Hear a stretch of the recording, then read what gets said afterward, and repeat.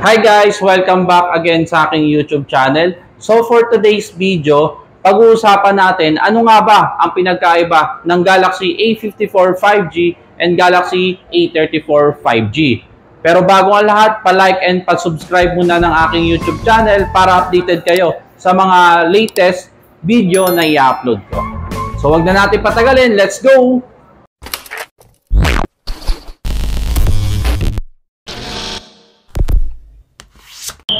Uh, so guys, unahin natin syempre yung release date niya.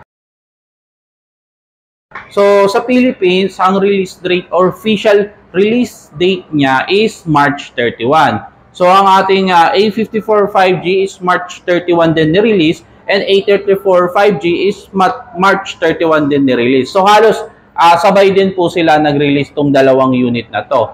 Then sa price difference niya, So, uh, ano natin, bagitin natin kung ano yung price difference niya. So, sa Galaxy A54, may dalawang variant po. So, for 256 gig is 26,990. For 128 gig is 24,990. Then, for A34 5G is for 256 gig is 21,990. For 128 gig is 19,990. So, mapapansin nyo na mas affordable itong Galaxy A34 5G compare natin sa Galaxy A54 5G. Then, sa kanyang uh, connectivity. So, for connectivity niya, parehas naman po sila naka 5G connectivity. So, ibig sabihin nun, syempre, mas mabilis po yung kanyang connection pagdating sa data. So, hindi nyo na kailangan ng mga Wi-Fi connection para lang mas mabilis yung inyong connectivity. So for using 5G connectivity ng dalawang unit na to is ma-appreciate mo na or ma-experience mo na yung mas mabilis na connection. So tapos na tayo sa connection. So proceed naman tayo dun sa kanyang body thickness. So sa body thickness niya is same lang din po. Naka 8.2 mm yung mismong kapal ng unit. Halos same lang po sa Galaxy A34 at A54 5G pag pinagdikit nyo po siya, parehas lang po sila ng kapal. Kaya ganito po yung design ng ating Galaxy A34 5G and A54 5G. Yan na po yung bagong signature design ni Samsung ngayong 2023. So lahat ng unit na ni-release nitong 2023, 8.2 mm na yung kapal ng uh, thickness ng unit. So lahat yan, uh, pare-parehas na halos nung design or yung kapal ng uh, smartphone. Then, uh, proceed naman tayo dun sa kanyang bigat. So, syempre, nagtataka yung iba, ano nga ba mas mabigat dito sa dalawa? So, ang Galaxy A54 5G, ang kanyang bigat is nasa 202 grams yung bigat ng ating A54 5G. Sa A34 5G naman is nasa 199 grams ang bigat ng A34 5G. So, medyo nagtaka kayo kasi mas mabigat ang ating Galaxy A54 5G. So, papaliwanag natin yan mamaya kasi dadaanan naman natin kung bakit mabigat nga ba itong Galaxy A54 5G compare natin dito sa Galaxy A34 5G. So, kung hanap nyo is mas magaan na unit, dito po kayo sa Galaxy, ay dito po kayo sa Galaxy A34 5G. Kung hindi naman kayo nagbe-base sa bigat ng smartphone, okay na po itong A54 5G. Guys, punta naman tayo sa kanyang protection. So, yung protection na yun, yung sa screen, sa screen mismo, sa display niya, kung ano nga ba yung protection na meron sa kanya. So, ang Galaxy A54 5G and Galaxy A34 5G is parehas po siya na Corning Gorilla Glass 5, yung mismong harap, yung front, front glass. Yan, parehas po yan. Then, sa back naman natin, dito po pag-uusapan natin kasi may pinagkaiba po siya. So, ang Galaxy A54 5G is naka Corning Gorilla Glass 5 din po na naka ano siya, glass. Glass panel mismo ang kanyang back. Compare natin sa Galaxy A34 5G is plastic. Plastic po yung gamit niya. So kung naghanap kayo ng smartphone na naka-glass or glossy yung design, itong Galaxy A54 5G yung tamang-tama sa inyo. Pero kung hindi naman or hindi kayo bumabase sa glossy na design ng yung smartphone, at uh, ayaw nyo ng madali na lalagyan ng fingerprint, ito pong Galaxy A34 5G yung tamang-tama sa inyo. Kasi plastic frame o plastic yung design niya, then uh, hindi po siya agad-agad nakakapitan po ng fingerprint. So isa rin yun sa mga dahilan bakit mas magaan tong Galaxy A34 5G na naka 199 grams dahil plastic siya. So plastic yung pinaka-back niya. Unlike dito sa ating, uh, kaya mas mabigat siya, syempre glass yung gamit sa kanya. So may dagdag na 3 grams compare natin dito sa Galaxy A34 5G. Sa mga nag-aantay, uh, punta naman tayo sa kanyang uh, size display. So yung size display niya, so for Galaxy A54 5G is naka 6.4 inches yung pinaka-display ng ating Galaxy A54 5G. Sa Galaxy A34 5G naman is naka 6.6 inches yung pinaka-display ng Galaxy A34 5G. So yun, kung naghahanap kayo ng smartphone na mas bigger screen, itong Galaxy A34 5G yung tama-tama sa inyo. Siyempre, para mas ma-enjoy mo yung panonood. Kung hindi naman, or gusto mo ng mas handy hawakan, itong Galaxy A54 5G yung tama-tama sa inyo dahil naka 6.4 lang ang pinaka-display inches niya. So, mas madaling hawakan po itong Galaxy A54 5G. Tapos kung hanap mo is mas magandang screen or mas malaking screen, dito po sa Galaxy A34 5G. So, yun yung pinaka-diferensya niya. Then, proceed naman tayo syempre sa display niya. So, sa display niya, same lang po siya na naka Super AMOLED yung pinaka-display niya. Itong dalawa po nito ng Galaxy A54 5G tsaka A34 5G. Support niya pa rin yung 120Hz na refresh rate. So sa Super AMOLED nga pala, syempre mas vivid yung color niya, mas vibrant, so mas may enjoy nyo yung panonood ng video using Super AMOLED display. Siyempre, mas ma-appreciate mo kahit nasa tapat ka ng araw, kitang-kita mo pa rin yung kanyang display. So, additional din natin yung kanyang nits brightness. So, mas na-improve pala yung nits brightness nito na nasa 1,000 nits brightness. Parehas lang po siya ng uh, A54 5G at A34 5G.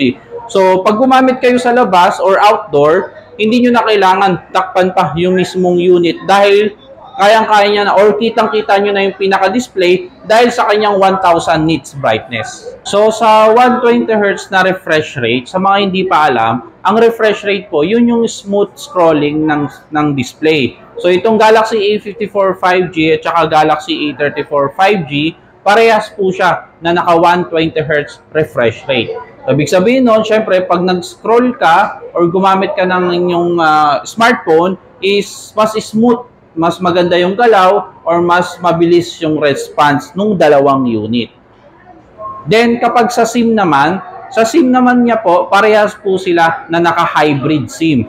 So, ibig sabihin ng hybrid po, yung pangalawang SIM card is optional mo kung memory card or SIM card yung gagamitin mo. Ibig sabihin nun, pwede ka magdalawang SIM, pero hindi ka na pwede maglagay ng memory card. Pero kung gusto mo maglagay ng additional uh, memory card is tatanggalin mo yung isang pangalawang SIM. So, ang ilalagay mo yung memory card. So, isang SIM card, isang memory card. So, parehas po siya na naka-dual SIM hybrid.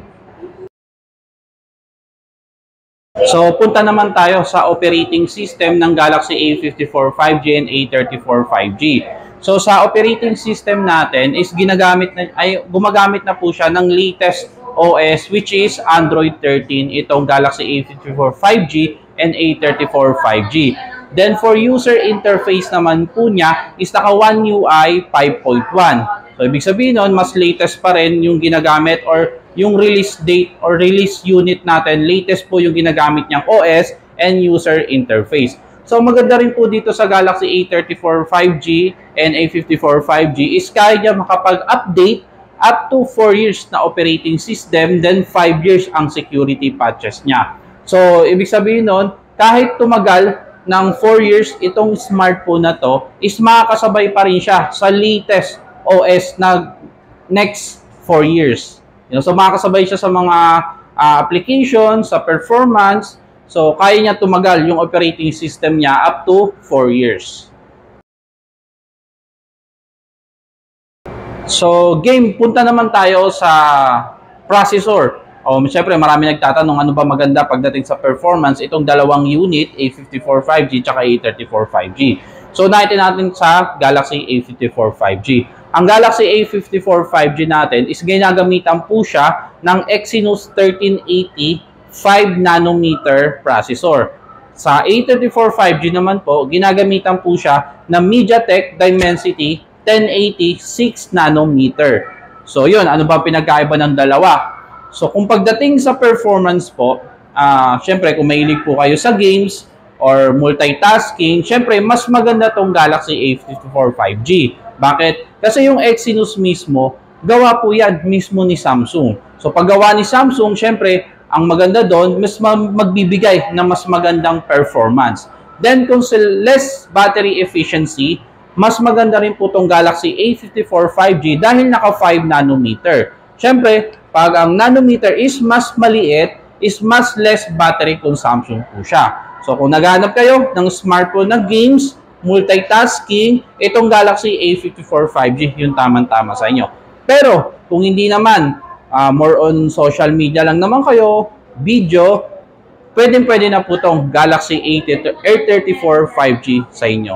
So, kung hindi naman ang hanap nyo is more on ano lang naman, social media or more on multitasking. Pero kaya niya pa rin makapagbigay ng uh, gaming performance itong Galaxy A34. Kung i-compare lang dito, syempre, mas maganda tong uh, Exynos 1380 itong Galaxy A54 5G. So, sa memory variant niya naman. So, same lang naman din siya. So, ang A54 5G is merong 128 gig and then 256 gig. Dito rin po sa ating A34 5G, meron din siyang 128 gig and 256. Sa RAM naman niya, so parehas din po siya na merong 8 gig RAM yung ginagamit sa kanya. So sa RAM Plus naman po niya is kaya niya makapagbigay ng 6 gig na additional RAM Plus. So, 8 gig plus 6 gig is total po siya ng 12 gig. So, ganun na rin ang kanyang RAM. So, yung RAM plus po ah, yan po yung virtual RAM. So, yung virtual RAM, ibig sabihin nun, manghihiram siya ng uh, memory dun sa storage. So, mas mababawasan yung storage, ilalagay niya sa RAM para makapagbigay, syempre, ng mas magandang performance po sa inyo. Kapag gusto mo ng additional RAM plus. So, punta naman tayo sa camera. So, so yan na, exciting na to kasi uh, karamihan sa iba na naghanap ng smartphone, syempre camera yung hinahanap unang-una sa smartphone.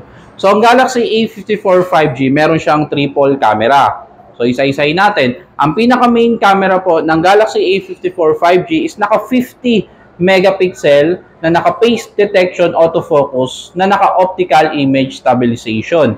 Then for ultra-wide ng Galaxy A54 5G is naka 12 megapixel. Then for macro lens niya, ito po yung macro lens, yung pangatlong camera is naka 5 megapixel. Then for A34 5G naman po, ang camera naman po niya sa main is naka 48 megapixel na naka face detection, autofocus din po na optical image stabilization. Then for ultra-wide ng Galaxy A34 5G is naka 8 megapixel naman po. Then for macro, yung pangatlo po is naka 5 megapixel doon.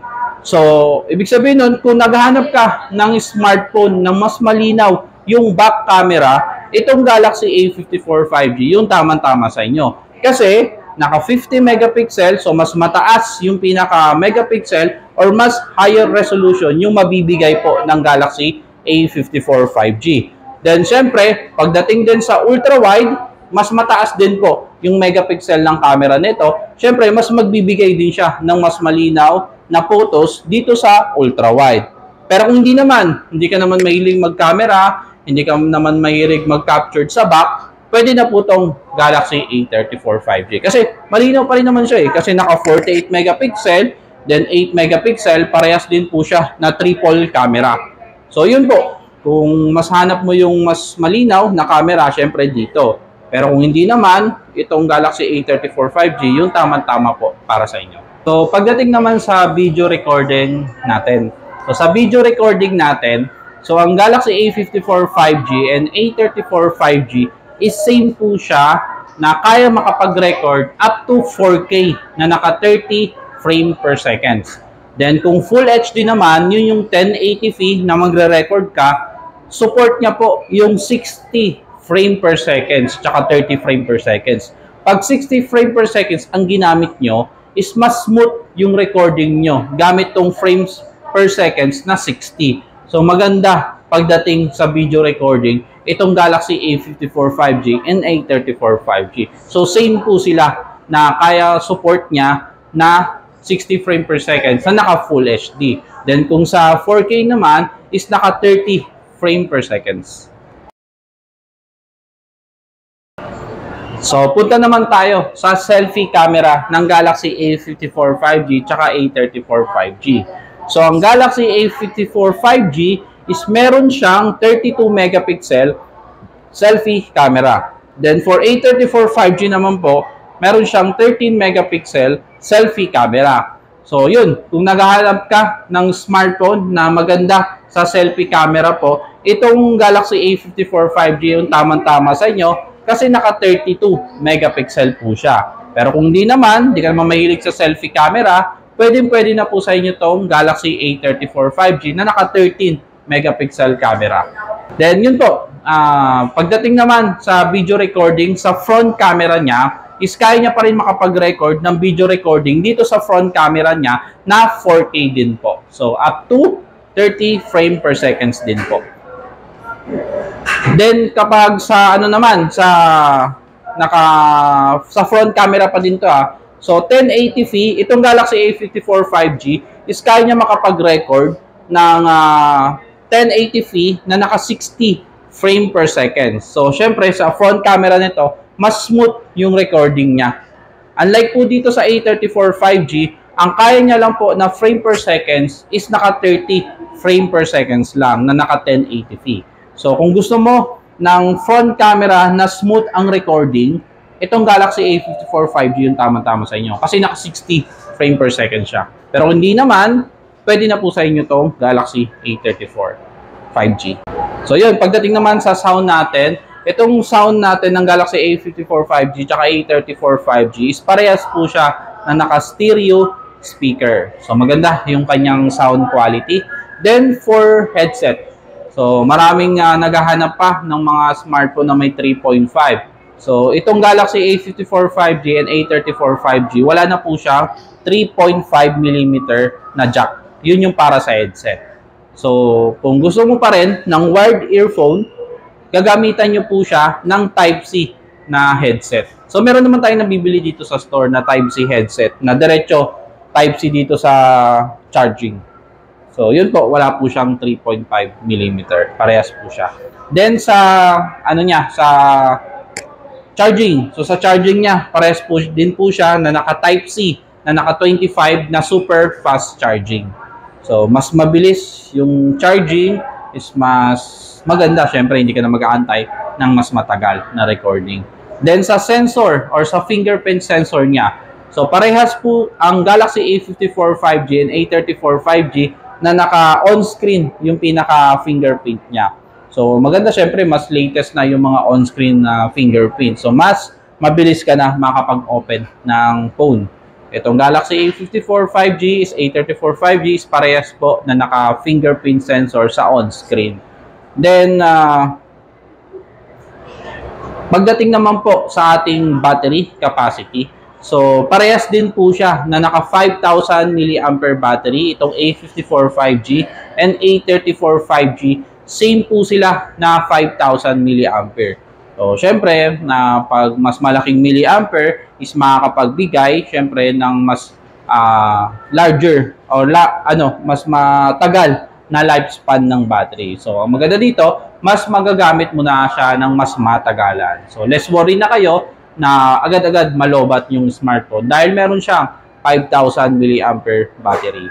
Then, sa color availability pala ng Galaxy A54 5G, A34 5G, itong Galaxy A54 5G natin is may dalawang kulay.